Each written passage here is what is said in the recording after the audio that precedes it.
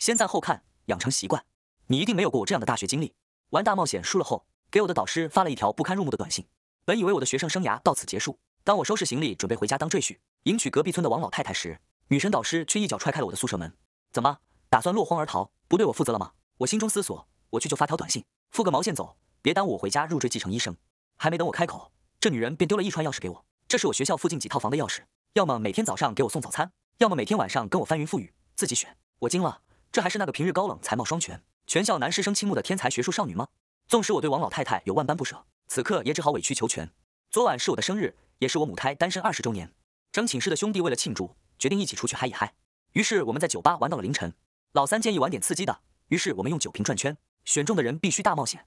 毫无悬念，玩游戏从来没有赢过的倒霉孩子被选中了。老大说大冒险就是选一个微信好友，发一条暧昧信息。我当时已经醉得不行了，没听太清楚。迷迷糊糊的把手机交了出去，于是他们随机选中对象，发完信息后又玩了两遍，后面的事都完全不记得。等我醒来时，已经是第二天中午，还好是周末，不用上课。我摸出手机一看，手机的置顶位置赫然出现着刘老师的消息。我点进去以后，一股寒气从脚底直窜到天灵盖。我妈了，是谁给我的狗胆，竟然敢给那位受万人追捧、全校偶像的柳教授发这样的信息？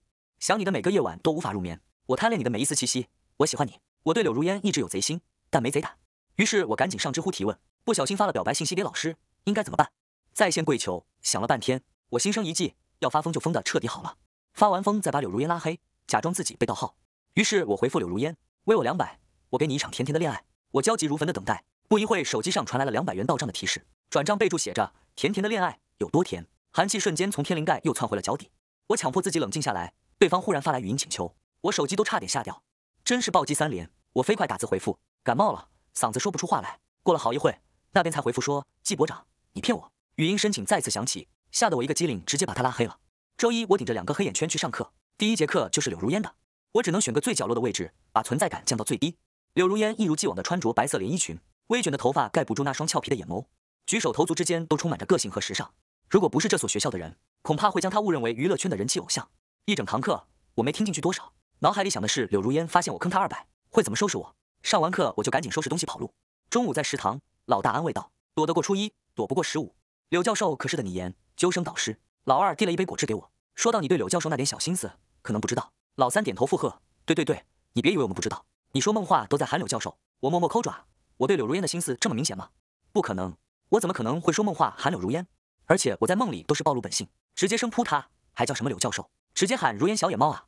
刚刚吃完饭就接到学姐林雪儿的电话，柳教授让我们下午两点去工作室，有课题要安排，该来的总是要来的。真正的勇士敢于直面惨淡的人生，活到工作的时候，学姐还没到。我亲爱的林雪儿大学姐，你再不来，你可爱的学弟我就要没了。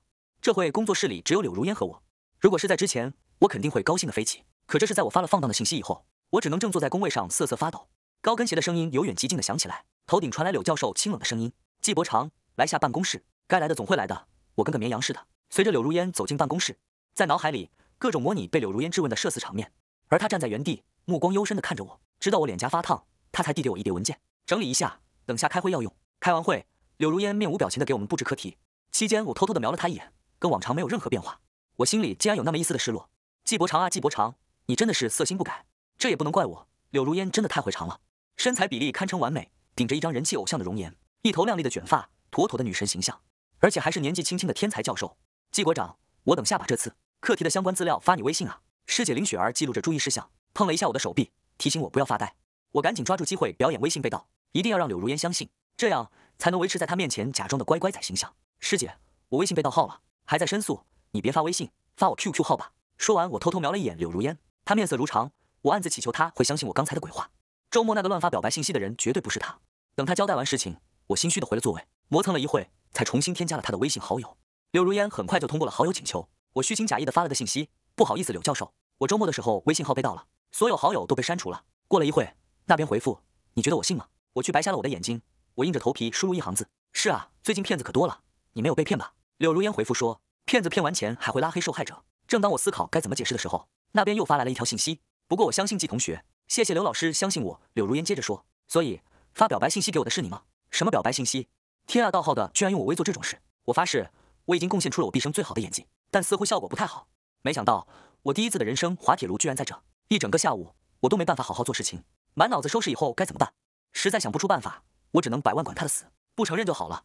只要脸皮厚演技高，我就不信他能拿我怎么样。实在不行，还有王老太太。快到打卡时间，柳如烟在群里发了一个紧急任务，是一个小课题，但是需要出差几天。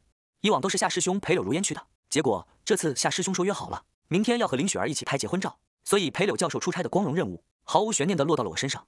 临走的时候，林雪儿还给我一个鼓励的眼神。师姐，你不知道我不能跟柳教授独处的吗？出人命的呀！回宿舍后，我在老大几人的注目礼下，收拾好了出差用的换洗衣物和洗漱用品。东西拿完了，老大扫了一眼我的行李，你这么快就跟柳教授二人世界了？老二吃着薯片，贱兮兮的笑。闭嘴吧，我都要愁死了，你还笑？老三神神秘秘的往我箱子里塞了一个小盒子，说我一定会用得上。我时间来不及了，也没注意是什么。暗时已经是半夜了，对接公司的负责人来机场接的我，把我们安顿好就告别了。等到了酒店，我倒头就睡。接下来的两天忙得脚不沾地。连吃饭的时间都需要挤一挤才能有。柳如烟比我更忙，却完全没有我的批坦。我真的怀疑她是不是偷偷吃了什么药。一连忙了几天，我跟个陀螺一样陪在柳如烟身后转来转去。我发誓以后再也不要跟她一起出差。第五天，我们终于忙完，合作方要开庆功宴，邀请我和柳如烟去参加。本以为柳如烟会拒绝，没想到她很爽快的答应下来。跟我想象的完全不一样，她在这种场合里收放自如，简直是全场的焦点。席间，合作方的负责人胖富婆蔡公朱总各种劝我喝酒，我那点甜一口的酒量，我心里清楚，借口说酒精过敏。没事，就一杯，喝了难受的话，姐姐给你买过敏药。蔡公主色眯眯的想来挽我的手，笑得很是猥琐。那大饼脸不知道打了几公斤的粉，好恶心，好油腻。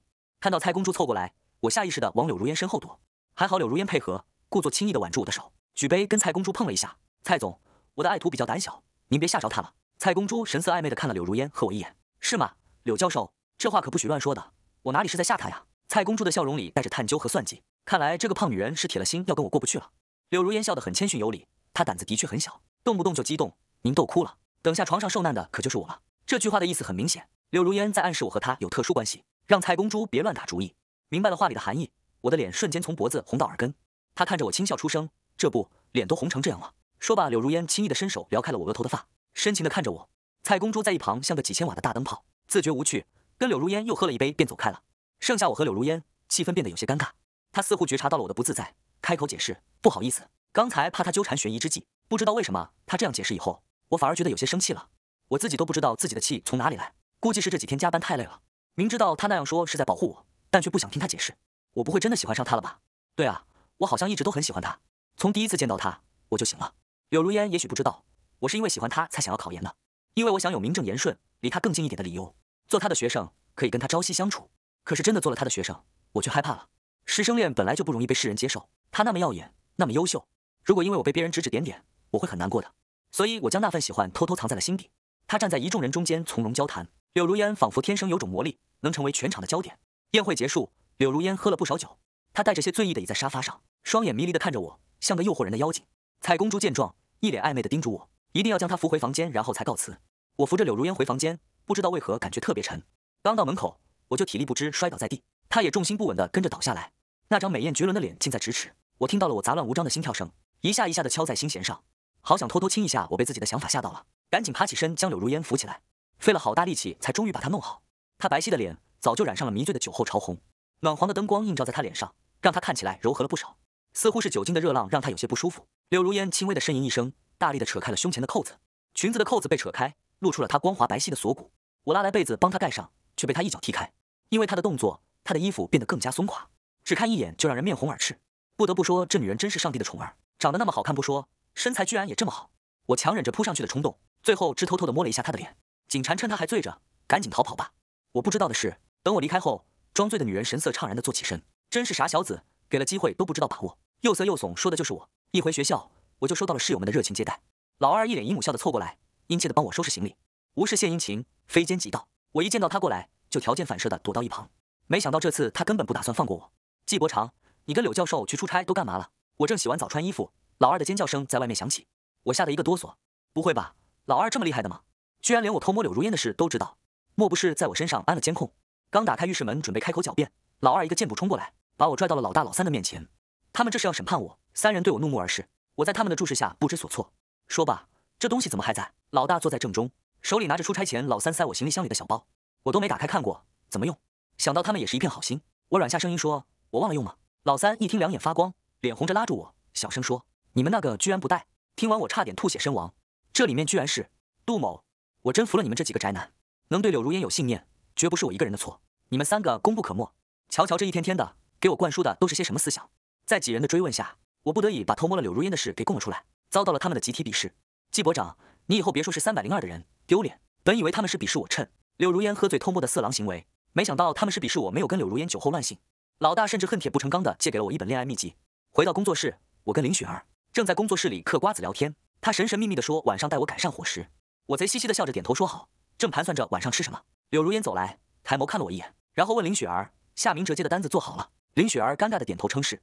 虽然柳教授不反对学生接私活，但终归是不太好。下班以后让他请客。柳如烟扔下这句话，留下了背影，留给我和林雪儿俩面面相觑。林雪儿捂住胸口，松了一大口气，吓死我了！我还以为柳教授生气了呢，结果只是让请客。对了，季伯长，你想吃什么？我都可以最后聚餐选的火锅。我们去的时候有些晚，只剩下了几个卡座。林雪儿和夏明哲是情侣，自然的选了同一边入座。没办法，我只好硬着头皮挨着柳如烟一起坐。说起来，我在柳如烟手下待了快一年，这还是她第一次跟我们聚餐。以往每次叫她，她都不会来，所以后面聚餐我们都自动屏蔽柳教授。这顿饭吃的很开心，主要是柳教授的眼真的太好磕了。怎么补？我顺着他的视线，为了庆祝夏明哲独立完成单子，我们还喝了些酒，一直到十二点多才结束。宿舍早已经过了门禁时间，本打算去学校旁边的酒店将就一下，然后发现没带身份证。林雪儿看出了我的窘迫，提议道：“师弟，要不去我们那住一晚吧？”我肯定是不能去的。林雪儿跟夏明哲住的是一居室，我去了就成了一千瓦的大灯泡。教室公寓没有门禁，你去我那住。柳如烟估计也是考虑到了这点。递了串钥匙给我，学校给他配了公寓，但他几乎从没有住过。住柳教授那里，我怕我控制不住呀，毕竟我满脑子的血液都在沸腾。我正犹豫要不要接过去，柳如烟直接把钥匙塞进了我怀里，然后打车走了。你还没告诉我是几楼几号啊？到了教师公寓楼下，我接到柳如烟的语音通话：“季国长，你到了吗？”低哑性感的嗓音里带着些酒意，跟那晚的声音很像，但又有些不一样。我感觉我被撩到了，真的太没骨气了，就这么个声音都能让我口干舌燥。我房间号是幺幺零二号，自己上去，那边传来淅淅沙沙的声响，好像在脱衣服。想到这，我脸腾的一下又红了。到了十一楼，开门进去，灯竟然开着，我吓了一跳，赶紧退出来确认了一下门牌号，才又进去。刚换好鞋，柳如烟穿着浴袍，用毛巾擦着头发就从浴室出来。柳教授美色当前，我却没心思乱想。我去，谁能解释一下，为什么柳如烟隐瞒他不住教师公寓？你睡卧室，我睡沙发。柳如烟大概是看出了我的犹豫，我磨磨蹭蹭的往卧室走。要不还是我睡沙发吧？他看着我，认真的思考了一下，哪有老师让学生睡沙发的道理？卧室里放了一个购物袋。里面是一些洗漱用品和一件新的真丝睡衣，连吊牌都没拆。往下翻，他居然还给我准备了换洗的内衣裤。我感觉我现在的脸红的都要滴血了。等我洗完澡出来，柳如烟已经在沙发上睡着了。九月的天气有一点凉意，客厅的窗户开着，我怕柳教授睡客厅会感冒，小心翼翼的走去关窗户。窗前有一排花架，上面摆着一些植物，正好挡住了我。我踮着脚去关窗户，结果不小心头碰到了玻璃。不得不承认，我身高要是能再高一些就好了。我忽然感慨道。忽然一股女性的气息自背后袭来，后背传来柳如烟的笑声。她抬头扫了我一眼，该不补了身高，怎么补？我顺着她的视线看到了她微张的领口，她怀疑我看了不该看的东西，但她没证据。然后她就这样将我的腰整个环住，确保我在凳子上不会摔倒。我伸出手去关窗户，很轻松的就关上了。这动作暧昧到了极点，他的头发还没干透，他的头紧贴着我的后背，甚至我都感受到了他的体温。我僵硬的愣在原地不敢动，生怕一动就会碰到他，太诱惑了。就在我快要被这种暧昧氛围弄得窒息的时候，他声音微哑的说了句早些睡，晚安，然后转身躺回了沙发。这一夜。我躺在充满柳如烟气息的大床上，翻来覆去睡不着，这味道太容易让人浮想联翩了。没有意外的，这一晚我又梦见了柳如烟。第二天早上六点，我就起床了，蹑手蹑脚的洗漱好，悄悄收拾东西出了教师公寓。我也不想早起，实在是怕被人看到误会。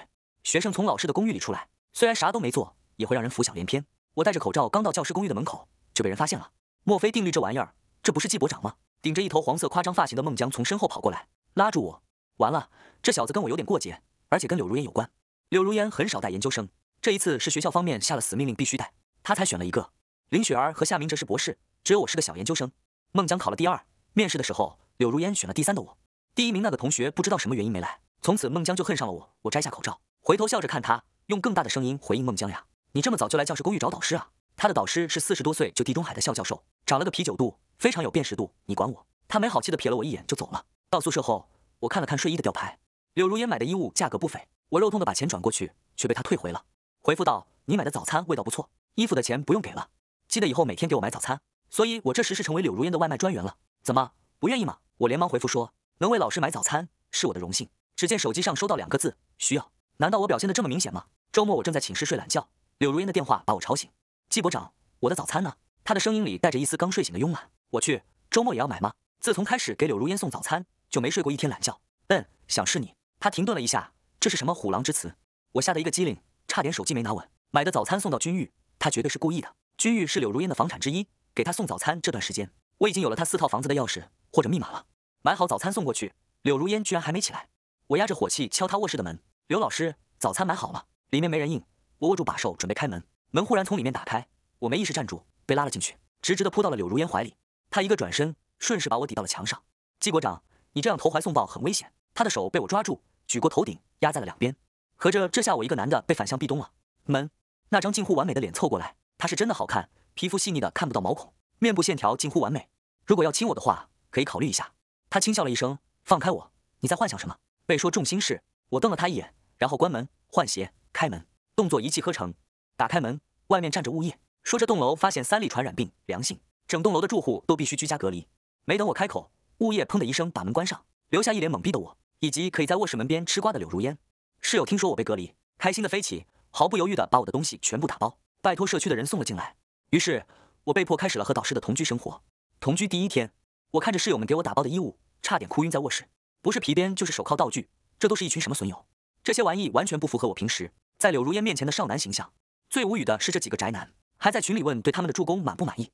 当我把快递放进卧室走出来后，柳如烟正在烤面包，看我出来，递给我一杯牛奶，看了眼我，眸色微暗，说道：“你的室友们比你诚实。”我有些尴尬的笑了笑。晚上我妈突然给我发视频，我正在和柳如烟加班，不要想歪了，是正经加班的加班。我妈好像误会了，国长交女朋友了吗？母亲大人看到坐在旁边的柳如烟，非常兴奋。没有，这是我的导师刘老师。我急忙解释，什么？你跟你的导师谈恋爱了？母亲大人。您能不能好好听我说话？不是不是，我跟刘老师在加班，不是谈恋爱。啥？你们在加班？母亲大人终于听清了，我很欣慰。年轻人还是要节制一点。我妈业余的补充了一句，老妈的这句话让我很崩溃，她完全没听清我说的啥，还脑补了少儿不宜的剧情。我摆手解释，结果手机被一旁的柳如烟拿了过去。好的，阿姨，我们会注意的。这家伙不解释就算了，还火上浇油。我抢过电话对我妈说，妈，我忙完了再给你回视频。挂完电话，我看向柳如烟，她正忙着手里的工作，脸上没有一丝异样。仿佛刚才火上浇油的人根本不存在。感觉到我的视线，她波澜不惊的回头，好好工作。我一时语塞，想要质问他为什么不跟我妈解释的话，竟然问不出口。季伯长，你可真粗！我暗暗鄙视了自己一番，最后还是没敢问。这段时间因为隔离，工作不太好开展，严重耽误了我跟柳如烟，一连几个晚上都在加班，熬到十二点多，我洗完澡关灯正准备睡觉，柳如烟敲门说有个细节还要讨论一下。我骂骂咧咧的从床上爬起来，陪她继续工作，一直忙到深夜，我实在困得不行，迷迷糊糊就睡着了。一觉醒来。发现一只修长纤细的手臂搭在我的腰上，旁边竟然睡着柳如烟，我吓得直接翻身下床。刘老师，我会负责的。我坐在地毯上，咽了咽口水，看着慢慢悠悠醒来的柳如烟，语无伦次。柳如烟的睡衣松松垮垮的挂在身上，整个肩膀都露出来了。听到这话，她趴在床沿玩味的盯着我笑。我俩都穿着衣服呢，你在胡思乱想什么？还是说你对我有什么其他的想法？低头一看，衣服果然还在身上。没没没，怎么会呢？我笑了两声，掩饰尴尬。季伯长，你一点都不诚实。柳如烟眸色微暗，说道，伸手恶狠狠地捏住我的下巴。还有多久才能解放？天天面对柳如烟这样的撩拨，真的很容易犯错。加上我妈已经完全误会，时不时来个电话视频慰问，我感觉我要崩溃了。和柳如烟被迫同居的第七天，不知道是不是因为跟柳如烟住在一起，天天欣赏女神受到了刺激，我竟然在疫情当头感冒了。半夜因为太热太渴，我从床上爬起来，拖着沉重的身体去厨房倒水喝，全身酸疼的要命，身体的热度烤得我快要流眼泪。季伯长，你怎么了？柳如烟被我倒水的动静吵醒，睡眼惺忪的过来看我。脸颊泛红，眼里盈盈着水雾。他抬手摸了下我额头，冰凉的触感让我得到了一丝缓解。我双手抓住他的手，完全不想放开他。乖，先放手，我给你量个体温。他的声音异常温柔，我烧的已经有些意识模糊了，不知道自己在干嘛了，哭唧唧的抱住他的腰，死活不放。无奈，柳如烟只好扶我到沙发上，用电子温度计量了体温，四十点六度，贴了退烧贴在额头。然后柳如烟又给我拿了冰块降温，我还是觉得热，意识越来越模糊。刘老师都不叫了，直接喊柳如烟。柳如烟，我好热，好难受。我红着脸，一边哼唧唧，一边不安分的乱摸。柳如烟喉头发紧，眸色幽暗的盯着双颊绯红的我，低声骂道：“真是个难搞的小鬼头。”然后附上我的唇，一瞬间的冰凉带来的酥麻感直窜颅顶，灼热的人舍不得放开来之不易的冰凉。第二天早上，我醒来的时候，烧已经退了。柳如烟正在厨房煮粥，不多睡会儿，他见我起床，在我的额头上试了下温度，低声问我，有些不好意思的后退了一小步，想到自己昨晚做的事，满脸通红。他转身回厨房，我看着他的身影想了想，决定装傻。刘老师。我昨晚烧糊涂了，没做什么不好的事情吧？强吻我算吗？他走近我，认真的思索了一下，回答我，我想都没想，红着脸小声回对，我只是乱摸而已。明明是你先亲的。柳如烟笑的脚下抬手，帮我把额前的发撩开。俯下身问：“所以你要对我负责吗？”负责？怎么负？见我愣神不答话，他沉默不再看我，侧身从我身旁走开了。这是生气了吗？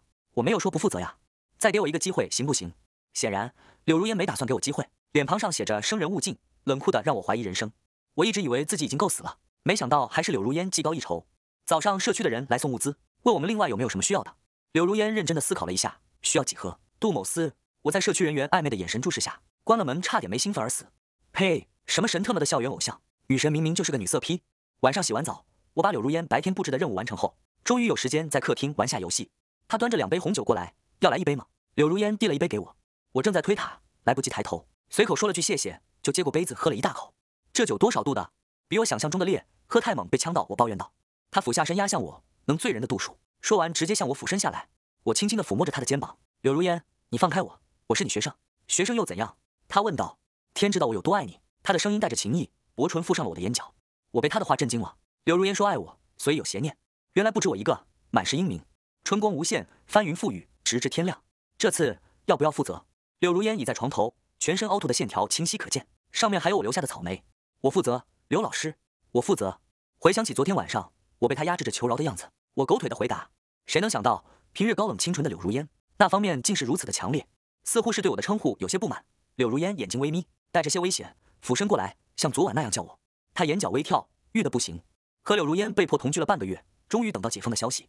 我哼着小曲儿收拾衣服，从头到脚，连头发丝都透露着重获自由的雨。柳如烟倚在门边，双手环胸，眼睛微眯，像只优雅的白猫。结束同居生活，你看起来很愉快。糟糕，得意忘形了。我忘了柳如烟还在。这种时候，我是不是应该要表现的难过一点才行？我这是强颜欢笑。一想到要跟你分开。我就难过的想吐。柳如烟丝毫不为所动，在一起这段时间，他已经习惯了我的不正经。别收拾了，季伯长，我们在一起吧。他说的很认真，但是我却怕。名义上他是我的导师，我喜欢他，所以不想那些风言风语影响他。我沉默了。见我不答话，他有些微怒，修长纤细的手捏住了我的下巴，又不想扶他的手上，没有用力，我并不感觉疼，反而因他喷洒在我脸上的热气而感到暧昧。我挣开他的手，我是担心，担心什么？他轻笑，毫不在意。我小声说着，不敢直视他。你是我的导师，柳如烟笑容更甚。你给我发暧昧信息的时候，没想过害怕？我那是被盗号了。我矢口否认。他将我再次压回床上。不诚实的男人是要被惩罚的。又是九十分钟的翻云覆雨，最终我俩达成共识，在一起，公开，有效避免不必要的麻烦。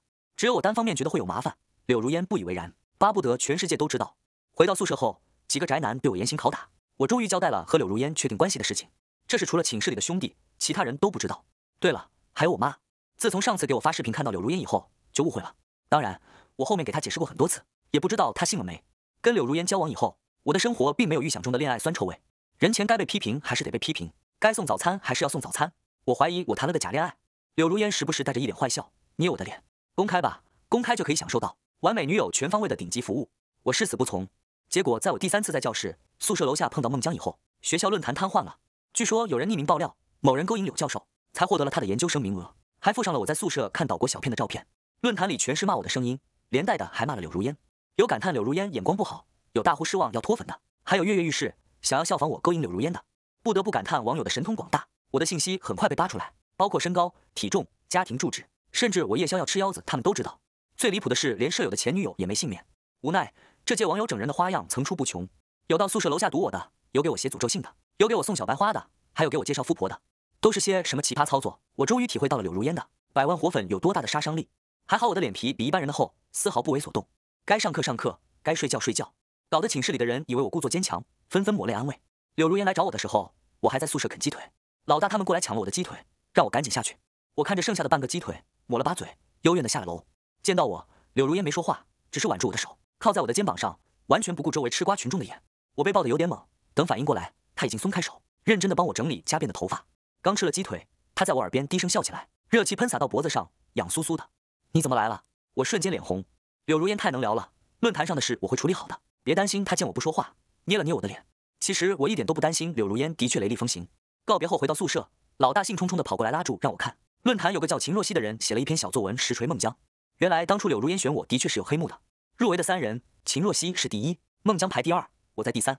孟江为了能做柳如烟的研究生，暗中找秦若曦，给了他十万。让他缺席柳如烟的面试，选择其他导师。秦若曦还晒了聊天记录和转账记录。柳如烟选我，纯粹是因为不想孟江这种不择手段的人做他的学生，所以面试的时候想都没想就选了我。说到底，我就是个捡漏的。紧接着就有人扒出来，匿名爆料的人就是孟江，包括我的那张照片也是他让人蹲点拍的。真相大白，网友们纷纷倒戈，就连之前的看小电影的照片，他们都开始硬夸纪伯常努力学习岛国知识，实践出真知。这时候，柳如烟也适时的出来发表了声明，大致意思是她知道跟学生谈恋爱会被一部分人不理解，甚至遭受非议，但是她不后悔跟我在一起，更不是一时兴起。结尾还附上了我和她相拥的照片，就是在宿舍楼下拍的。看着柳如烟春风得意的样子，我甚至怀疑这次爆料都是柳如烟一手操控的。爆料事件过后，我跟柳如烟明目张胆的谈起了恋爱，借用室友们的原话，完了，他防了女神柳教授被季伯常污染了，变得太腻歪，看不下去了。我也没想过，柳如烟表面清冷精明，实际上又色又撩，时不时的就要当众撒狗粮，刺激一下单身汪们。面对校领导的各种侧面提醒，也装作听不懂，我行我素。舆论对于他来说完全起不到任何作用。柳如烟的行为激怒了孟江，他约我到学校隔壁的咖啡馆，老大劝我不要去。但我想知道孟江到底想保什么，最后还是去了。到的时候，孟江正看着面前的咖啡出神。我坐下要了杯果汁，说吧，找我什么事？我以为你不敢来。孟江嘲笑，为什么不敢？他没有答话，而是自顾自的开始讲故事。我家跟柳如烟家里有生意上的来往，七岁的时候我就认识她，所以呢，她是我的梦想。为了能够配上她，我学音乐，学法语，去她的学校留学，时刻要求自己做一个贵族公子。我以为只要能追上她的脚步，她就能多看我一眼。孟江瞪了我一眼，继续回忆，这些只是你单方面的想法。你有问过柳如烟喜欢什么吗？孟江被我的话刺激到，拔高声音吼道：“你根本不了解柳如烟的家庭，他们家需要的是一个在事业上能帮助她的乘龙快婿，不是你这样的屌丝。可是你错了，如果柳如烟想要家族事业，就不会选择留校任教。你这么喜欢她，连她想要什么都不知道吗？”我平静地告诉他这个血淋淋的事实。他沉默片刻，好像在思考我的话。季国潮，你知道吗？我特别羡慕你。他盯着我，眼里有怨毒的恨。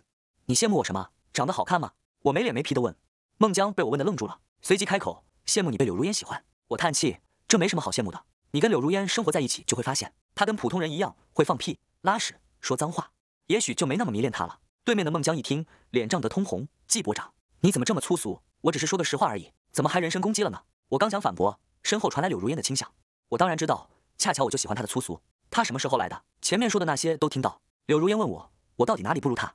我喜欢了你十五年。孟江歇斯底里地指着我质问。柳如烟看着他皱了皱眉，可我根本就不记得。如果不是你今天这么闹，我至今回想不起你是谁。我看到了孟江眼里的光渐渐的暗淡下去。柳如烟的话对他来说也许有一些残忍，但是我不至于有圣母心的去同情他，只是觉得庆幸我喜欢的人刚好也喜欢我。